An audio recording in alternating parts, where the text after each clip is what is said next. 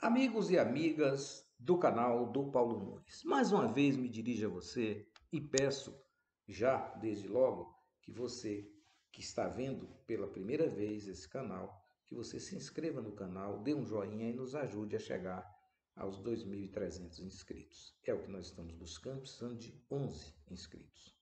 Mas, meus caros e minhas caras, mais uma vez vou falar sobre os patriotários, ou seja, aqueles que foram usados para fazer um golpe de Estado esquisito, né?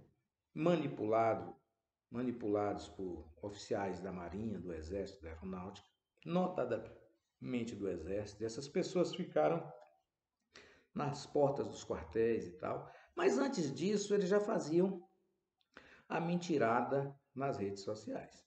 O que é que nós sabemos até hoje? As eleições é um pacto social que você faz na democracia brasileira. Você estipula, e como foi feito na Constituição Federal, de que de quatro em quatro anos você tem eleição para presidente, governador, senador, e nos outros quatro anos você tem eleição para senador, prefeito e vereador. E nessa que eu falei anteriormente, também o deputado federal e estadual. Bom, dizendo isso, é a regra do jogo. Quem vence, governa. Quem perde, aplaude ou chora. O que não pode é ficar conspirando o tempo todo, mentindo, inventando, criando mentiras, dizendo que o Brasil. Eu vou mostrar para vocês aqui um vídeo do canal do, do Clayson, onde ele mostra, por exemplo, que os bolsonaristas salafrários, vagabundos, estão pegando aquele material do tempo da pandemia, onde os artistas brasileiros pediam a você para ficar em casa para que você não se contaminasse. Enquanto isso, o presidente da República da época dizia: saia e se contamine. E na hora que se contaminar, tome cloroquina. Se morrer, todo mundo vai morrer. Ele não era coveiro, né? Todo mundo vai morrer. Bom, então, eu vou, sem mais delongas, eu vou mostrar e você vai prestar atenção nas pessoas que falam e pedem algumas coisas sobre o 7 de setembro. Veja só, o 7 de setembro é um desfile cívico-militar. Claro que se você quer organizar um protesto, você pode fazer. Ora, como é que você questiona que não está vivendo liberdade e chama as pessoas para poder ir ao 7 de setembro com um pano preto. Significa que você está tendo liberdade. Então, entenda a incoerência, a ignorância do bolsonarista. E ainda fala Lula e fala Globo. Vocês assistiram toda essa, essa parafernália de bolsonaristas nas portas dos quartéis. Ignorantes, semi-alfabetizados, ridículos e o pior, totalmente perversos, que querem agora dizer que foram inocentes e que a depredação dos, do, do, do, dos equipamentos públicos foi realizada pelo PT, pelo MST, por Lula, pelo ministro Flávio Dino. Para você ver a que nível chega a canalice desse pessoal. É por isso que eu digo, aqui no nosso canal, nós damos o nome correto às pessoas. Honra é honra. Hoje, por exemplo, o Supremo Tribunal Federal abriu, é, autorizou uma busca e apreensão na casa da irmã de um ministro de Lula. É assim que é chamado. Ocorre que esse ministro é do União Brasil. É daquele partido que já foi PDS, PFL, Arena, lembra? E virou agora União Brasil.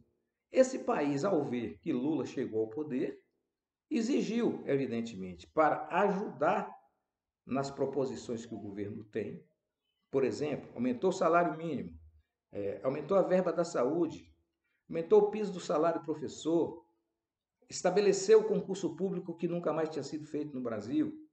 Aí, para fazer essas votações, eles exigiram um ministério e o ministério, você sabe, tem dinheiro. E, naturalmente, esse é o ministério que tem a Codevasf. Não é que seja o ministro das Comunicações, que é esse que está implicado, que tem a Codevasf, mas ele pertence a União Brasil, que além do Ministério das Comunicações controla a Codevasf, com obras até em Vitória da Conquista, obras extremamente duvidosas. Né? Asfalto que você arrancava com o dedo.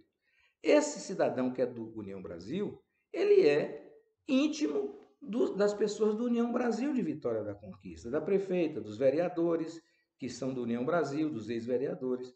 Mas na hora que a polícia bate na porta e fala assim, não, é o ministro de Lula. Fica parecendo que o cidadão é do PT. Ele é do partido de ACM Neto. Eles são o mesmo partido, são a mesma coisa, são a mesma carne. Entenderam como é que funciona o esquema bolsonarista? Pois é. Eu vou mostrar, sem mais delongas, que você vai observar nesse vídeo de, de Clayson que ele mostra tranquilamente a utilização de pessoas que falavam para ficar em casa por conta da pandemia e eles estão tentando enganar as pessoas para dizer que os artistas, esses artistas que pediram para ficar em casa na pandemia, estão pedindo agora para ficar em casa no 7 de setembro. Que são cara de pau. É, esse é o esquema. A estratégia deles é você ficar em casa no 7 de setembro. E se você for sair, você utilizar um pano preto. Tem essa ainda. Eu tô, eu tô dando spoiler antes de você ver os vídeos. Ou usam a camisa preta, ou você amarra um pano preto na antena do carro. Então, é isso que eles vão fazer no 7 de setembro. Eu vou trazer para você esses vídeos para você entender como que eles estão abordando nas redes extremistas, porque a gente faz esse monitoramento. O próximo 7 de setembro vai ser o nosso Fica em Casa. Terá um 7 de setembro das Forças Armadas que hoje faz continência para bandido, junto com o MST, junto com a CUT, dando continência para bandido, para ex-presidiário, e vai ser o nosso Fica em Casa e vamos ver que 7 de setembro mesmo. Eu soube até que as Forças Armadas estão muito chateadas conosco. Mamãe me acorde. Eu tô sem dormir por causa disso. Fique em casa. Fica em casa. Fique em casa. Fique em casa. Fica em casa.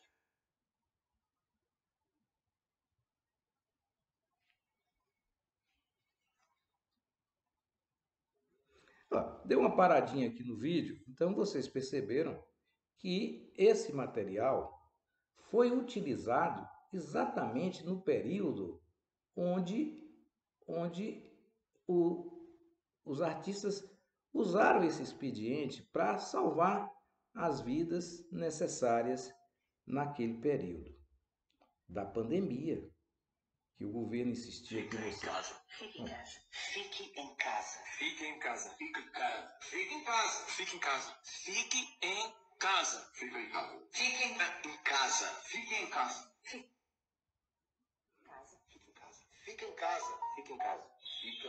Fica em casa. Fique em casa. Fique em casa. Fica em casa. Casa. Fique em casa. Fica em casa. Fica em casa. Fique em casa. Fica em casa. Primeiro ponto é que ainda fecho os olhos e consigo me lembrar de imagens que me machucam muito ainda. Mulheres e crianças, homens, idosos, de joelhos na frente dos quartéis, em todo o Brasil, clamando SOS Forças Armadas. O segundo ponto é nos questionar qual independência comemoramos, que liberdade comemoramos, que democracia nós iremos comemorar nesse 7 de setembro. Para nós, patriotas brasileiros, claro, 7 de setembro significa exatamente liberdade. E é claro, todos nós, patriotas brasileiros, sabemos que liberdade é o que certamente estão querendo arrancar do povo brasileiro. Por isso, quero me dirigir a cada um de vocês, patriotas, para que no dia 7 de setembro, vocês simplesmente não participem de nenhum ato relacionado ao 7 de setembro. Que você possa colocar um pano preto na sua janela. Quando você for sair com seu carro, sua moto, amarre um pedaço de pano preto no seu retrovisor, na sua antena. Vamos mostrar que nós não aceitamos que a nossa liberdade seja tolhida. Delegado Edermal. Então eu te pergunto, qual liberdade, qual independência que o povo brasileiro tem hoje? E aí, petizada? E aí, jumentada? E aí, seus esquerdalhas? Aí, ó. 7 de setembro tá chegando. Os patriotas não vão, tenho certeza. Eu, pelo menos, eu não vou. Chegou a minha vez de dizer, chegou a nossa vez de dizer, fica em casa. Essa vergonha, bater continência, palavrão, não. Tenha certeza. 7 de setembro, não vou. Não dou moral para quem traiu a nação. Um exército que bate continência para bandido não merece meu respeito. Bando de melancia. Se você for, vá de preto e ainda vire as costas para esta corja de traidores. Chegou nossa vez, galera. Dia 7 de setembro, fica em casa. Patriota de verdade, tem moral, vergonha na cara e não tem memória curta. O 7 de setembro, que era algo de independência, liberdade do seu povo, alegria e festa nacional. Então eu te pergunto, qual liberdade, qual independência que o povo brasileiro tem hoje? O que realmente comemorar nesse dia? Nada.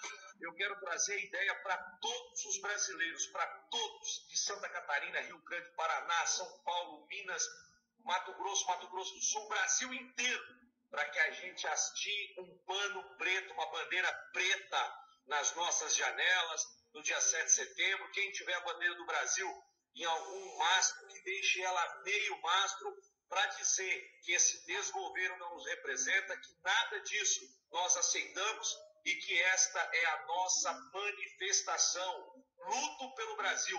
É esta manifestação ideal. Mostrar que nós não apoiamos esse desgoverno, mostrar que esse desgoverno não representa o nosso país e que nós queremos o impeachment em breve de Luiz Inácio Lula da Silva. O meu conselho é: fique em casa. Fique em casa. O que é o 7 de setembro?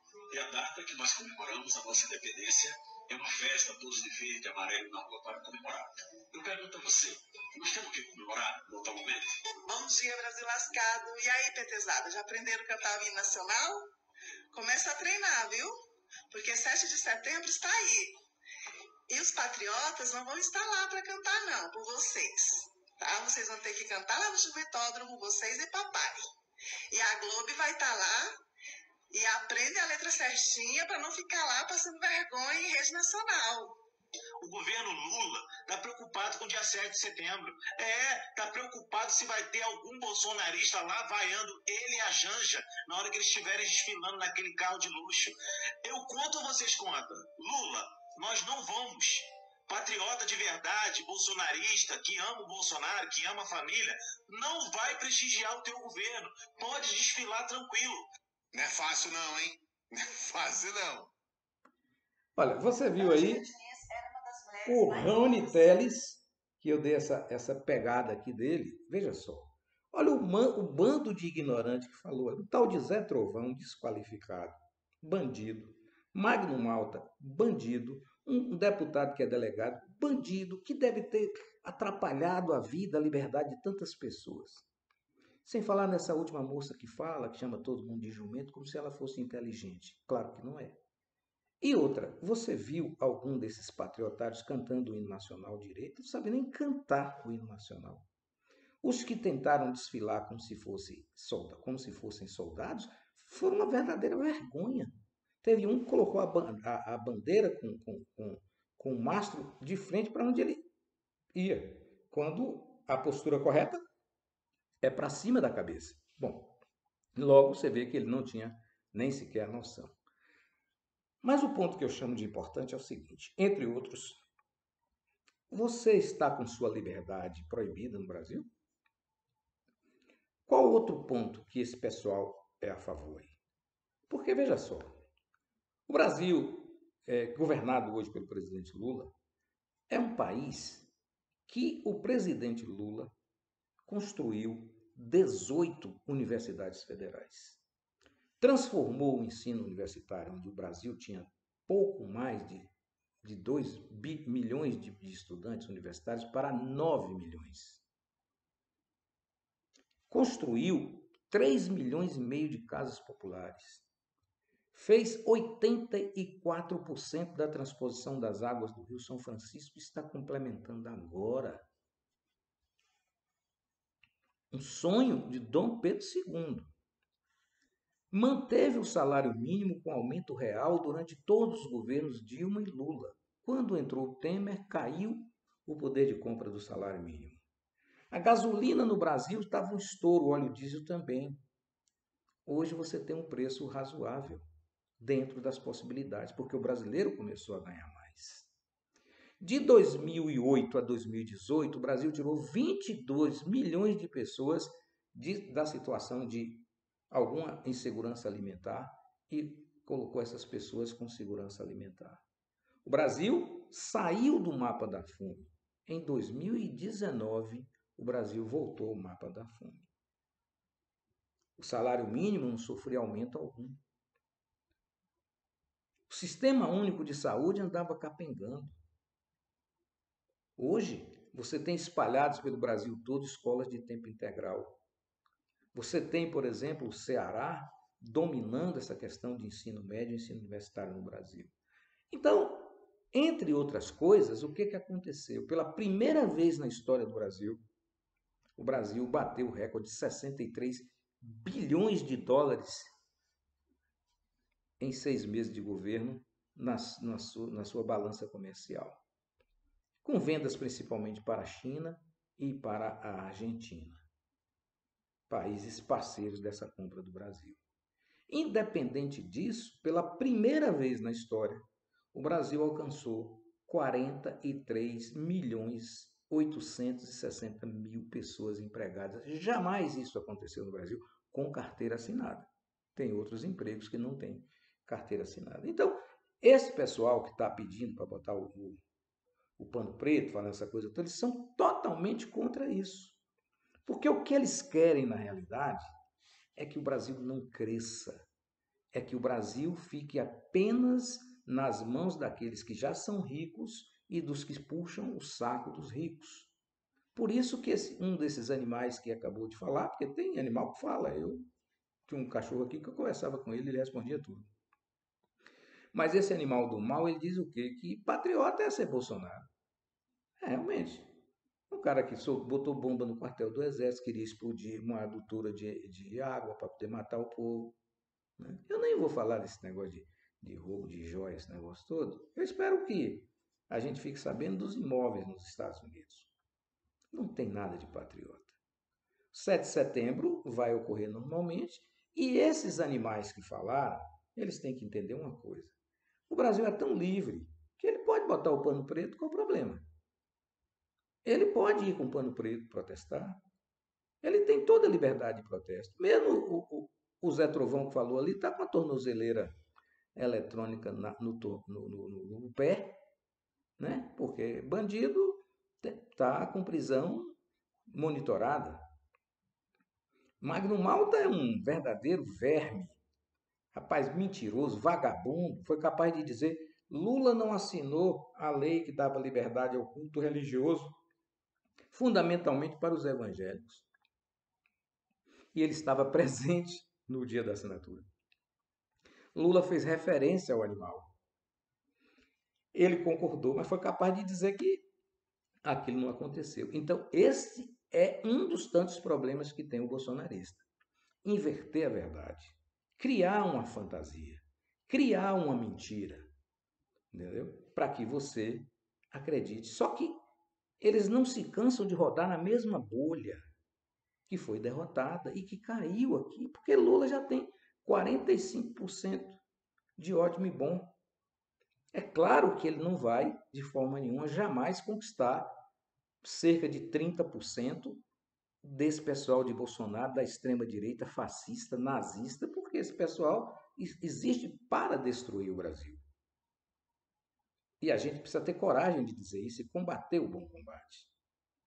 Esse, esses, esses energúmenos, eles são tão cruéis que eles foram capazes de dizer que o fundo de participação dos municípios caiu porque Lula cortou.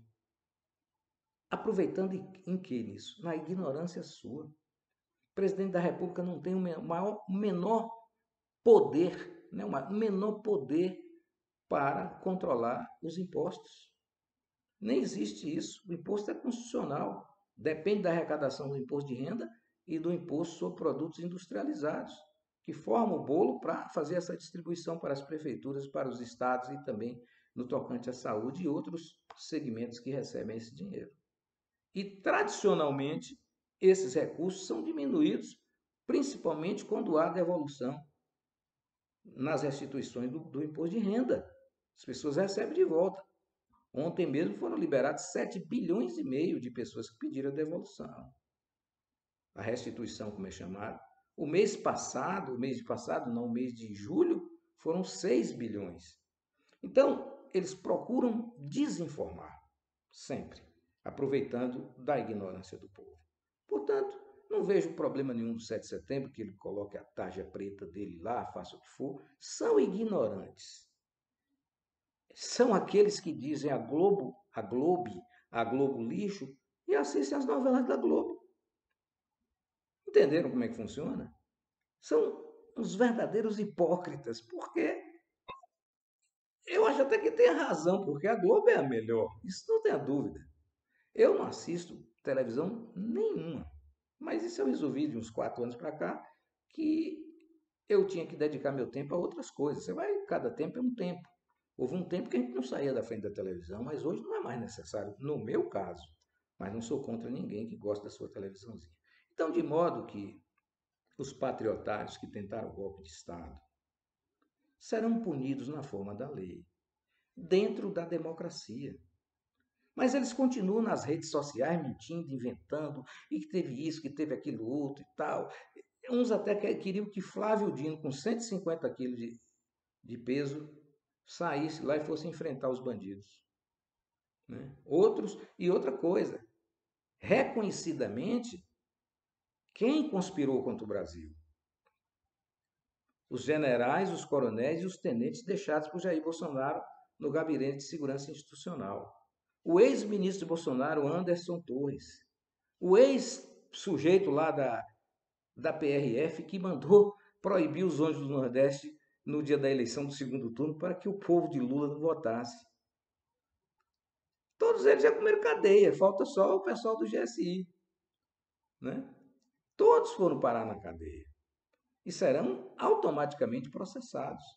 E aqueles que resolveram fazer a ação com a mão própria também vão pagar, estão com tornozeleira, vão receber uma pena mais branda, mas vão ficar é, simplesmente no rol dos culpados por resto da vida por tentativa de abolição do Estado Democrático de Direito, de direito com uso da força. Né? É uma penazinha boa. Deve dar de 4 a 12 anos. São primários, alguns, né? Alguns são traficantes, são bandidos, milicianos e tal.